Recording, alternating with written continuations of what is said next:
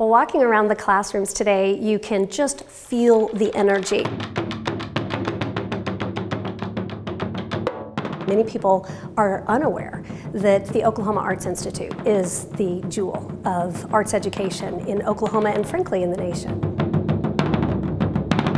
This is something we should be very proud of and we must take that message into our communities and to the Capitol